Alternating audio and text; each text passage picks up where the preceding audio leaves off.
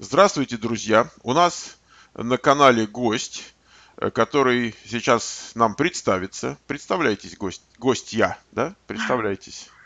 Да, ребята, всем привет. А, Меня зовут Юлия Мартынко. Мгм. А, Собственно, да, и э, мы договорились с Михаилом, что сегодня я вам расскажу о том, как мы с а, мужем выиграли грин-карту, а, получили визы и переехали в США вот три месяца назад. Ты такая молоденькая уже замужем. Давно замужем. Давно, да. Но это Вот неплохо. как грин, грин-карту получили и, собственно, поженились. А, понял. То есть вы как-то были в отношениях, а расписались, Да, когда вы да, да. выиграли. Да, да, да. Эм, Ну, есть мо- вот Давайте мы вот с чего начнем. Вы откуда сами? А, Мы с Украины, с Киева. Из Киева. О, хорошо, прям почти земляки. У меня жена из Киева. Теперь эм, занимались чем так кратко? Образование? Работали? Да, ну, э, да, если вкратце, а, у меня экономическое образование, но, как и многие в, Украине, да и в других странах СНГ, Мгм. работала я не по специальности. Ну и, собственно, вот последнее время, чем я занималась, а, я работала в продажах, в IT-компаниях, то есть продавала софт. И муж работал разработчиком также в То IT-компании. есть программист фактически. Да, да, да. Ну хорошо, что же. А, а по-английски вы так могли? Ну, конечно, да. То есть я в Украине еще находясь работала с американскими заказчиками, с американскими компаниями, поэтому, в принципе, у меня а, практиковала английский То, каждый то есть, день. может, А, могли Ну, поговорить, так все нормально. ну, да, да, да. И Ну, приехали не без вы. акцента, конечно, но Хорошо. А нет, а говорила, что, да. без... акцент не проблема. Когда вы приехали в США в итоге? а, мы приехали в конце июня. Ну Июль, вот, да, август. три, Три, три месяца месяца назад, да. Да, Ну да, что же, то есть у нас такие свежие впечатления, с одной стороны, с другой стороны, давайте мы начнем, знаете, с чего? С участия в грин-карт лотерее. Вот буквально через там несколько дней, уже меньше недели осталось, во вторник, да, начнется, а сегодня Да, да, вот собственно. уже пятница. Значит, э, что-нибудь такое полезненькое тем, кто собирается участвовать из вашего опыта. Вот заполнение, э, может быть, этих там, формы вот этой вот, э, может быть, какие-то Мгм. вещи, в которые упираются люди, а вы знаете, там, может, какой-то там трюк или там ответ какой-то. Да, безусловно, есть такие вещи, я бы даже это назвала не трюками, да, вот просто такие, Мгм. такие правила, которые необходимо соблюдать. Да. Так вот, если люди хотят а, выиграть, да, ну, то есть, и уже непосредственно получить визу и переехать в Штаты. Ну, первое, да, что я посоветую, это, безусловно, все, ну, ко всему относиться серьезно, все внимательно читать и указывать только правдивую информацию. То есть, прежде всего, да, вот э, начнем с того, что заполнять вот эту анкету, то есть процесс а, заполнения грин-карты, ну, там, один месяц, да, длится с начала октября до начала ноября, Мгм. и заполнить анкету, это бесплатная лотерея, да, то есть не нужно об этом забывать, потому что есть много посредников, которые хотят за это деньги получить. То есть есть единственный официальный сайт, на котором нужно заполнять анкету. То есть это такое самое первое основное правило, то что если вы заполните анкету на официальном сайте без посредников, это там убережет многих от там дальнейших ненужных финансовых вложений, стресса и так далее. Второе, то, что, а, ну вот, как я говорила, нужно заполнять только как бы пра- правду, да, и там не придумывать, не додумывать, ни что касается образования, то есть если там у человека среднее образование, ну, нужно указывать, что оно среднее, там не надо думать, что оно высшее. То есть э, по поводу фотографии тоже, вот кто бы мог подумать, но а, очень многие люди загружают неправильные фотографии, из-за этого их дисквалифицируют. Может есть быть, там, какие-то у вас есть конкретные вещи, э, м, чтобы предос- предостеречь, вот конкретно в отношении фотографии, вот что, что могут люди такое сделать, э, ну, да, то есть, да, да, вопиющее? конечно. Ну, то, что я вот э, слышала, знаю, да, это когда Мгм. вот уже финальный этап, когда люди приходят в консульство на собеседование, вот самый-самый последний этап, там вот нужно принести фотографию, она должна быть не, э, не старше, чем пол, ну, сделана не позднее, чем полгода назад. И я знаю, то есть людей, которые приносили фотографию, там, которая была 8 месяцев или там один год, и их конкретно вот из-за этого Я, дисквалифицировали. я только не понял. Значит, все-таки мы должны, заполняя анкету, мы должны приложить фотографию. Я знаю, Это вот самое первичное. самое, да. самое первичное. Вот Да, э, да, да, я да. знаю, что вот эта фотография, которую мы туда, значит, добавляем к этой форме, э, она должна быть не старше 6 месяцев. А вы сейчас сказали про какой-то еще момент, когда человек приходит на интервью с консулом, да, и там еще фотографию надо, и она тоже должна быть Да, не, ста- не старше. да, Я да, да, просто то не, не, не знаю нюансов. да, то есть э, вообще фотография фигурирует в трех э, этапах, да, Да- получения так, грин-карты. давайте это подробно. вот это, да, да, да, первый это вот это самый первый этап, когда первичная анкета вот э, в течение одного месяца в октябре. Да. Второй этап это когда человек проходит медицинское обследование, он э, приносит фотографию. И третий, последний этап это когда э, в консульстве человек приходит на собеседование для получения визы. Нужно, нужно также иметь фотографию. И каждый раз эта фотография должна быть не старше 6 месяцев. И это, Да, это не важно, что, допустим, вот я, э, может быть, я год назад при подаче заявки я отправил фотографию, она была там, скажем, неделю назад сделана.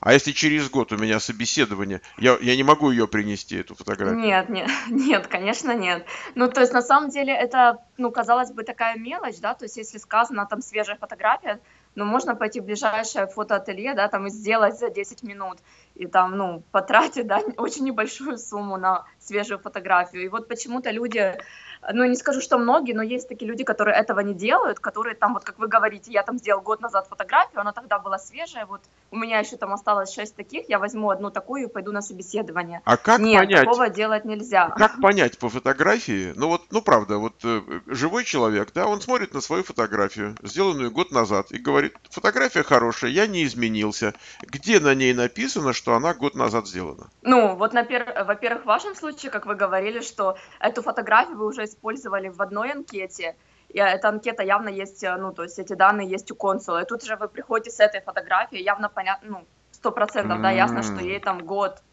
или даже, может быть, больше, потому что там у нас прошло там год и три месяца с тех пор, как вот с первой подачи анкеты до собеседования, поэтому, ну, как бы зачем, рисковать, да, там, где не нужно. То есть э, человек уже потратил там деньги на прохождение медобследования, собрал кучу документов, потратил время, уже Мгм. хочет все-таки получить эту грин-карту, и на такой мелочи, как фотография, ну, это очень глупо. То есть э, Эм, лучше там Вы, вы знаете, что я замечал, что э, довольно много людей, они норовят, я даже не скажу, что жульничать, но вот, скажем, срезать углы. Знаете, так раз, не, не доделывать то, что положено доделывать.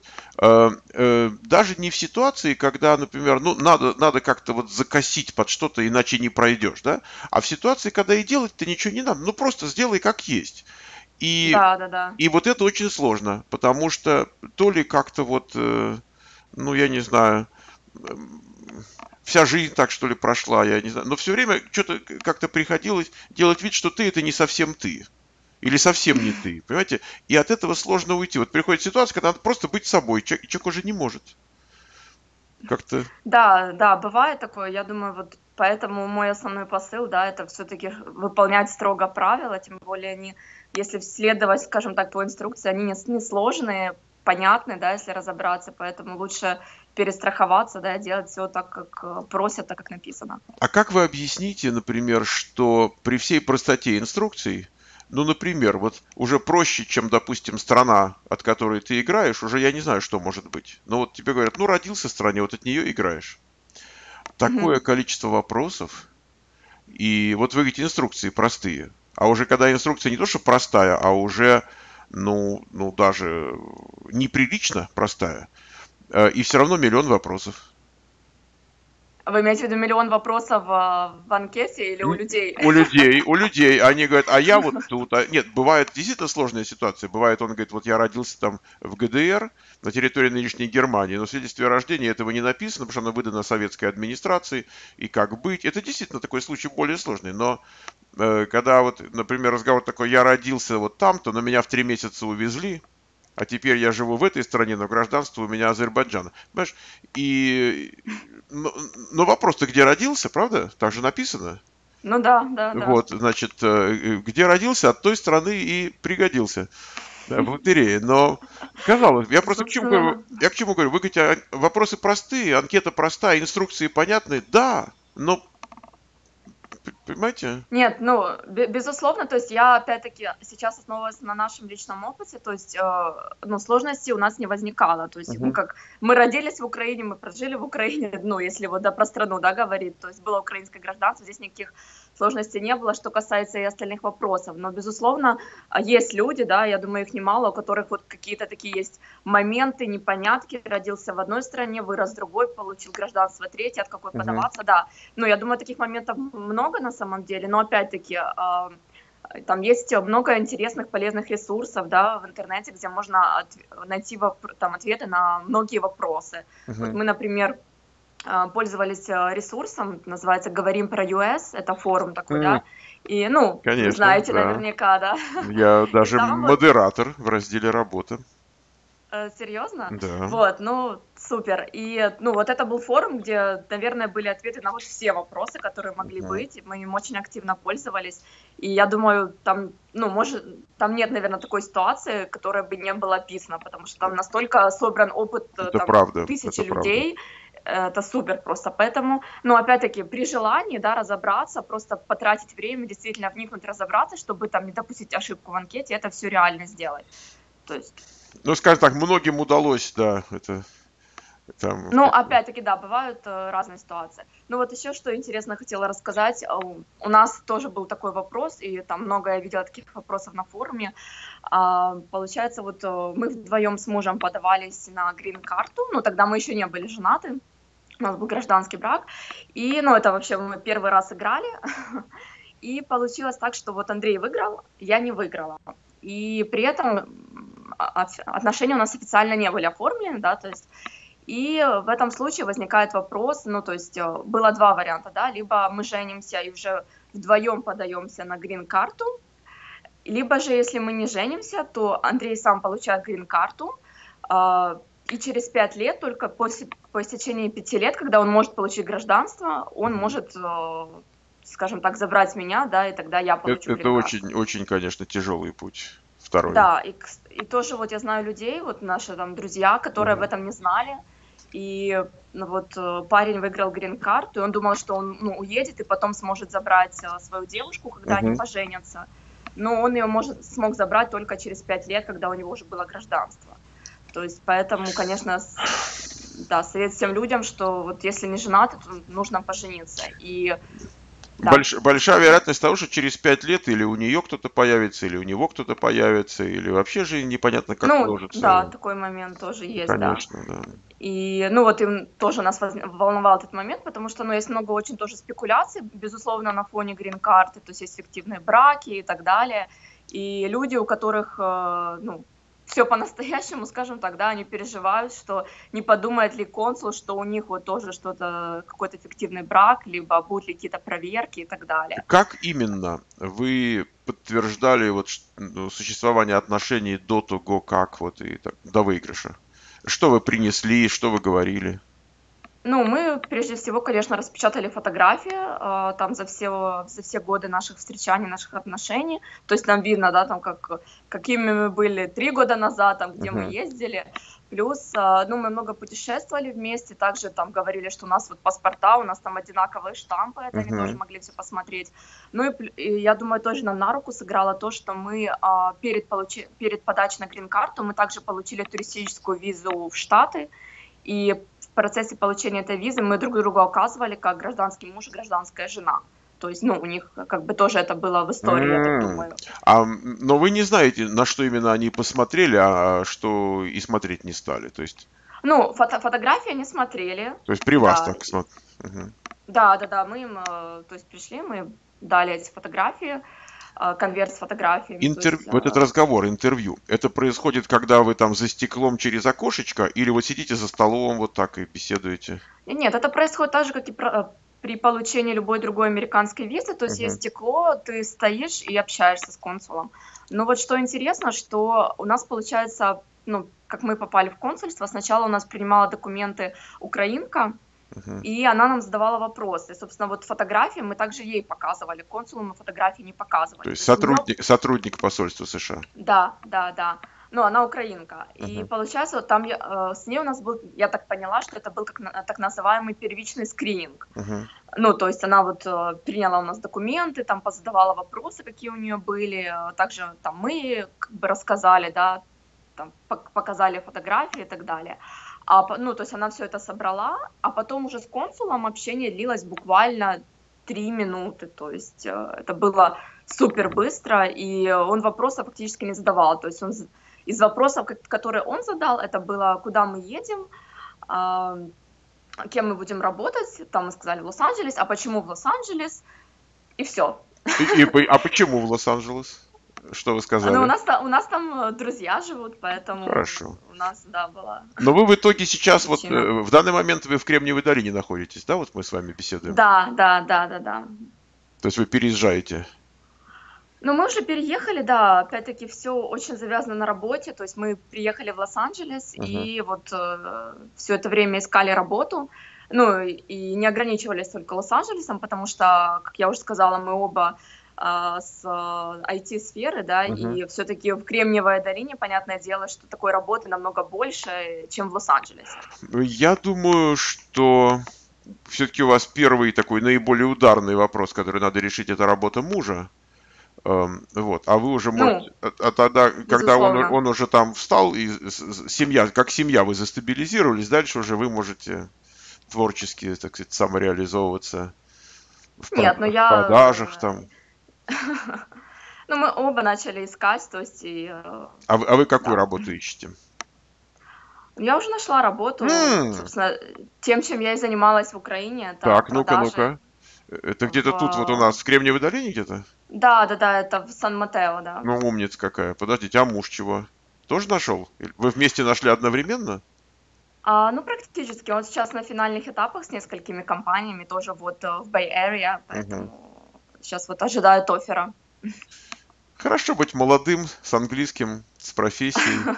Прямо как вот... э, Ну, я, я вам скажу, Михаил, что это было, ну, в моем случае, Мгм. это был такой очень длинный и нелегкий процесс. Ну, в общем, вы давайте вот что, вы тут застабилизируетесь там. Это вы уже сняли квартирку вот эту или вы где сейчас?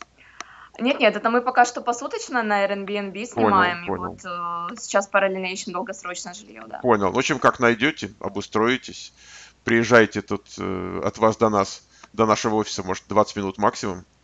Вот, мы с вами будем отдельно кутить в эфире. Окей. А вы еще блог, блог завели, правда? Да, но я вот, э, да, да, да, у меня, я завела блог, там пока что только одно видео, но я вот, э, у меня много чего есть, что рассказать, чем бы я хотела... Начинается с чего-то одного, но нельзя же начать вот с 10 сразу, правда? Да, да, да, ну просто вот, э, опять-таки, по поводу грин-карты, я там рассказывала про Мгм. разные интересные моменты, которые я там не всегда находила, и плюс там тоже хочу рассказать по поводу того, как я искала работу, это был Вы целый мне, процесс. вы мне в скайпе тут вот скиньте, пожалуйста, ваш этот URL, так? Э, Ну, в смысле, канал ваш, чтобы я мог ставить в описание к видео. И из того, как я понимаю, э, интересы зрителей, потому что я очень много вопросов читаю, я, я знаю, что спрашивают. У нас, например, постоянно идет такая тема, что вот вы показываете инженеров, вы показываете программистов или там людей, которые в тестировщики там перековываются и так далее. А вот покажите людей других профессий. И очень-очень многие работают и в Украине, и в России, и где угодно, в продажах. Гораздо больше Мгм. людей с опытом в продажах, чем в инженерном деле, кстати.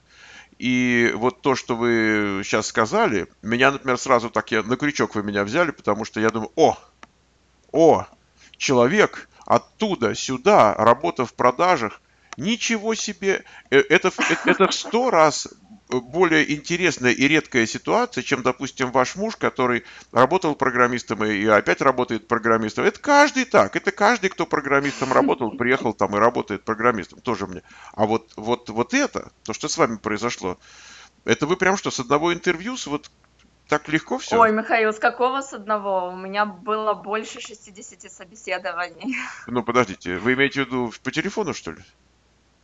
Ну, по телефону, по видео, по... Ну, это Не, солнышко, давай так, давайте так, по видео, по видео и живьем сколько было?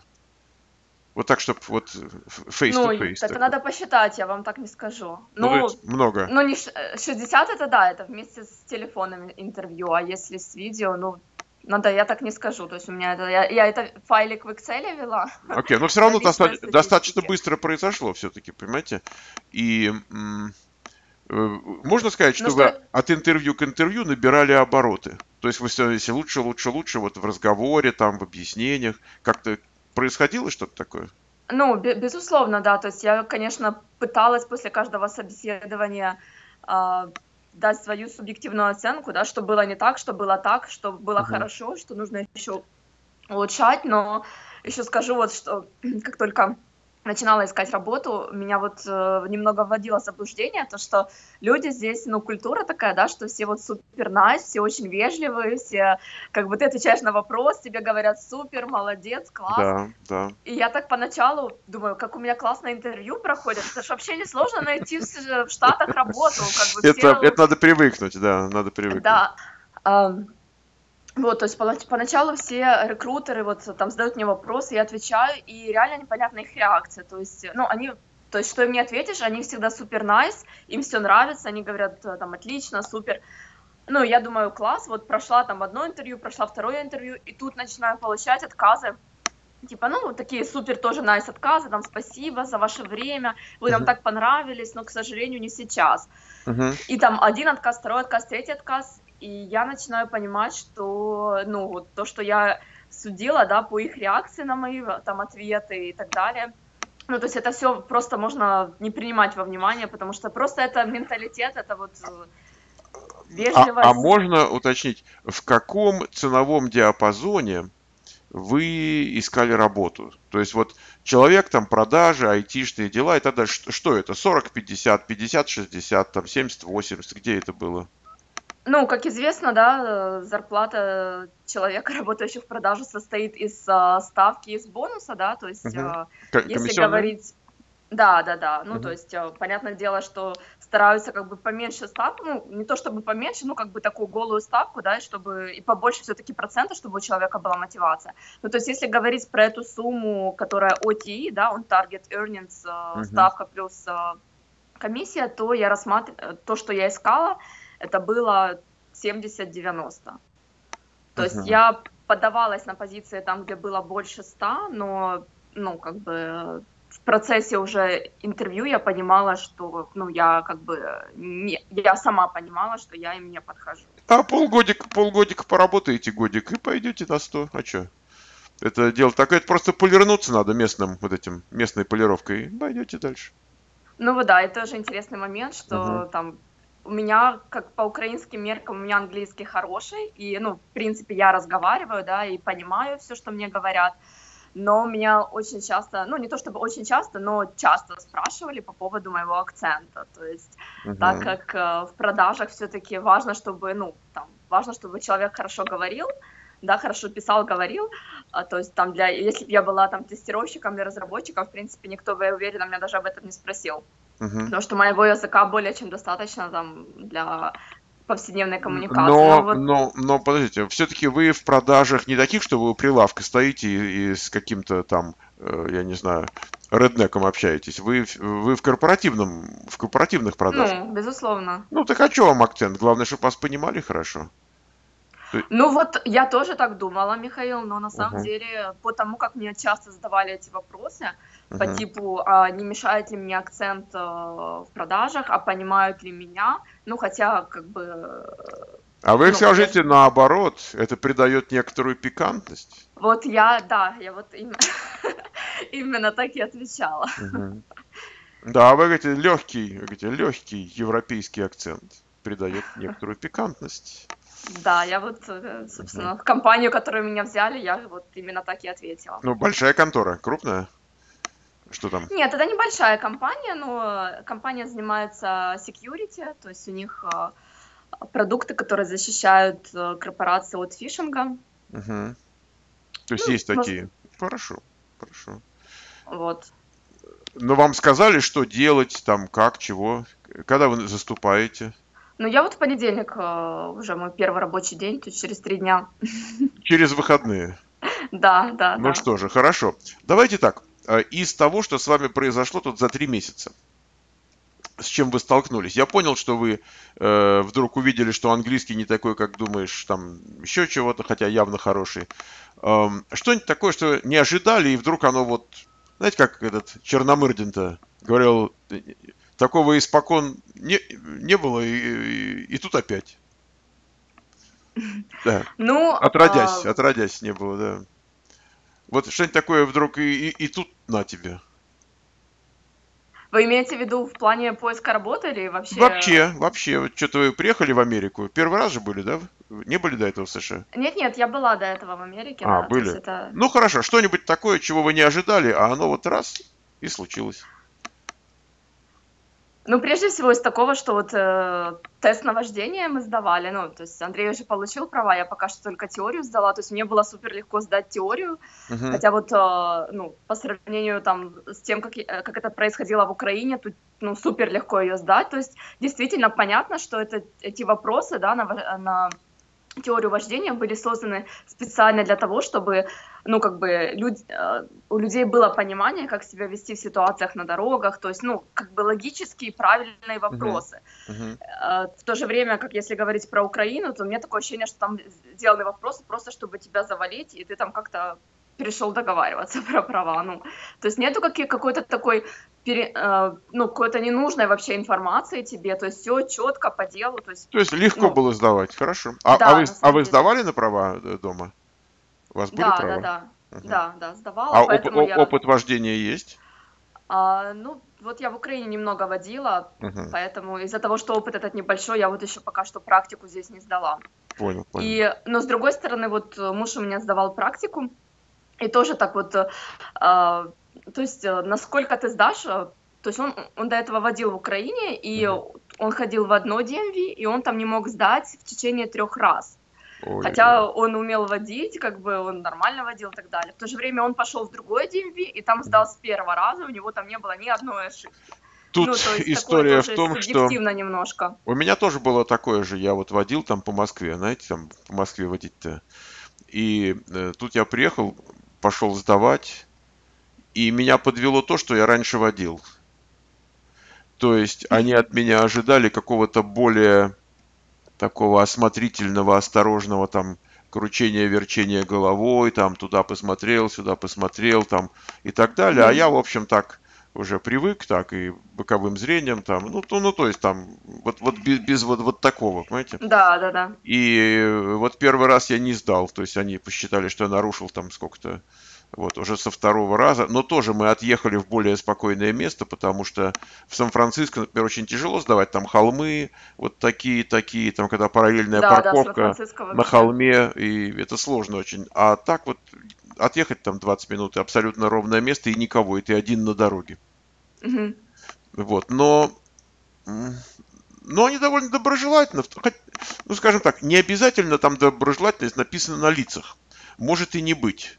Но, во всяком случае, они по, по инструкции работают. То есть он так, раз, два, он галочка, так, поворот, раз, поворот, раз, парковка, два, так они. Да, еще меня вот очень удивило, что за рулем очень много пожилых людей, там 80, ну, даже за 80 лет, там 80-90. Ну, так, мне кажется, у людей уже просто в таком возрасте немного замедленная реакция, и, Так ну, и тем есть. не менее, Так и есть. тем не менее, Они... они водят. Я когда был страховым агентом одно время, вы не представляете, что я насмотрелся? Вот, например, дедушка на парковке. Есть такое место, где еду выдают бесплатную. Вот он туда поехал. Заехал на парковку. Уже, казалось бы, он не с улицы, уже он уже на парковке, там где ехать-то. Вот. Мгм. И потом подъехал, уже хотел встать куда-то, и как дал на газ. И две машины, значит, там, ну, свою, само собой. А я ему говорю, а как же так получилось? Он говорит, да перепутал. Говорит. Хотел, хотел на тормоз нажать, а вдарил на... Ну как так может быть, правда? Э, Вот так что надо, надо осторожненько с этим, с дедушками, бабушками. Я тоже иногда смотрю. А знаешь еще что бывает? Она так идет с каким-то вокером, там, знаешь, и она еле движется. То есть она не то, что вот там бежит бабка, там засела в машину и понеслась. Нет, она еле идет, она, она идет, идет, у нее все трясется, вот это вот трясется, и она села в машину, и понеслась. Да, ну, Да, то есть у меня такой немного диссонанс в этом плане. Да, да, это И вот есть. Э, У меня до сих пор, у меня до сих пор есть, я что-то 30 лет скоро. Не могу, я боюсь. То есть они сидят, видно, что они не очень ориентируются, знаете, так они. Ну, вот, да. Ну что ж, хорошо. Да, еще вот хотела сказать по поводу того, что меня, можно сказать, здесь удивило. Это поход в супермаркет.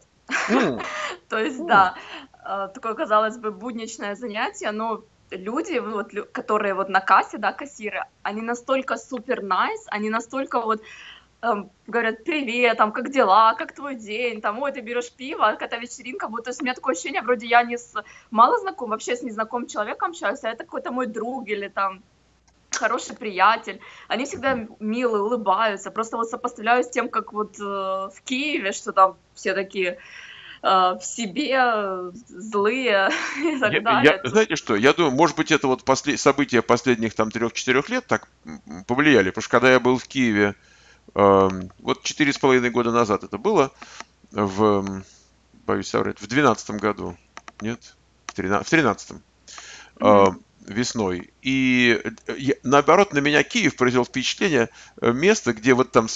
А я, я люблю пообщаться. Вот, и так вот, какая-нибудь продавщица какая-нибудь стоит, там девочка молоденькая, или там такая же тетка в возрасте, там что-нибудь там колбасу режет. Я, я с ними со всеми трепался, а они как к родному ко мне. То есть, э, да, я думаю, Но надо... это ж- потому что вы. Там делали первые шаги, я уверена, а тут люди, к- наоборот, они к тебе как бы... Нет, я не говорю, что везде есть, э, ну, конечно, везде есть хорошие, там, открытые люди, но здесь это просто все, ну, 95%. Да, да, они не, очень не боятся, у них нет страхов никаких к незнакомым людям, они наоборот там пообщаться. Да, здесь Или любят. просто вот по улице идешь, кто-то может тебе там комплимент сделать, там девушка, там платье ей понравилось, или там А, сумка понравилась, да. Что хорошая сумка там или еще что-то. Обыч- обычное «Окей, дело, да. Спасибо, да. Ну, то есть такого... А если бы вы шли по. Киеву, и кто-нибудь вам сказал, ой, девочка, какая у вас потрясающая прическа, там, допустим, да? А, Есть мужчина, допустим, говорит, э, значит, это первая реакция такая, что пристает чужой мужик, там как-то с какими-то намерениями, или думаешь, может, сумасшедший, вот какая реакция?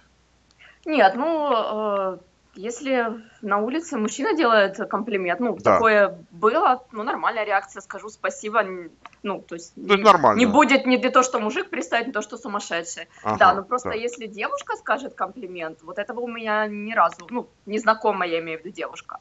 То есть Вот то, что мужчина-. Да, то, Окей. что мужчина делает комплимент, это как бы окей, а то, что девушка, ну, и девушка не то, чтобы она пристает, как бы, Мгм. а просто вот ей действительно что-то понравилось. Не женская, не продолжает. женская. Э, Я помню, такой был анекдот, как две подружки сталкиваются там на перекрестке. И одна говорит, ой, говорит, слушай, хорошо, что я тебя встретила, как тебе мой костюмчик новый? Та говорит, послушай, я так спешу, но совершенно не до ссоры. Ну Так да. Это уже так, девчачье такое. Ладно, я смотрю, у вас так настроение хорошее, вы так улыбаетесь, так у вас все как-то... Или вы всегда в хорошем настроении, или просто вам здесь нравится. Вот э, настроение здесь лучше, чем там? А, Да нет, наверное, у меня такое же настроение, но вообще мне очень нравится страна. Я же говорю, до Мгм. переезда я здесь была несколько раз. Я там в 2009 еще году, я три месяца жила в Нью-Йорке по Work and Travel, студенческая М. программа, знаете, наверное. Вот. Ну, сейчас вот, кстати, в Нью-Йорке были, то город уже... Ну, тогда я влюбилась в этот город, то Мгм. сейчас уже Калифорния мне нравится намного больше. Да, уже начинаете сравнивать, конечно. А у вас не было такого, что вот приехали до Work and Travel, и башку снесло, и думаешь, все, вот только в Америку, и вот ничего, ничего больше знать не хочу. Потому что я знаю людей, которым сносит.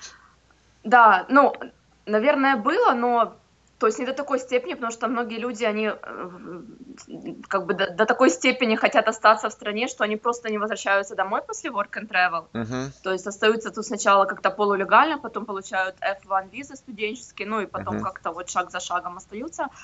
А, ну, то есть у меня, так- то есть я очень, э, я на тот момент очень хотела остаться в Америке, очень хотела жить в Нью-Йорке, но опять-таки я понимала, что у меня на тот момент было незаконченное образование, что Мгм. у меня не было профессии, и, ну, я бы могла остаться, но там работать официанткой там мне не, не, не особо то хотелось, если честно. Вот. Uh-huh. Поэтому у меня такой был план, чтобы как бы какое-то время пожить в Украине, потом уже вернуться в США, уже более, скажем так, уверенно стоя на ногах.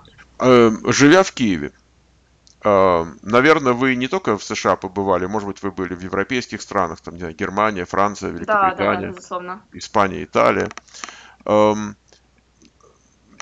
Вот как нормально вот воспринимается, допустим, а что вот, может, в Германии поработать или, может, в Польшу. То есть вот США в сравнении с э, странами, которые там рядышком, в принципе, и, может быть, там даже как бы по-европейски более понятные какие-то вещи, более привычные. Ну, это очень интересный вопрос, Михаил, и мне его часто задают. Uh-huh. И я вот всегда отвечаю, что да, я была во многих европейских странах, но Америка мне намного ближе.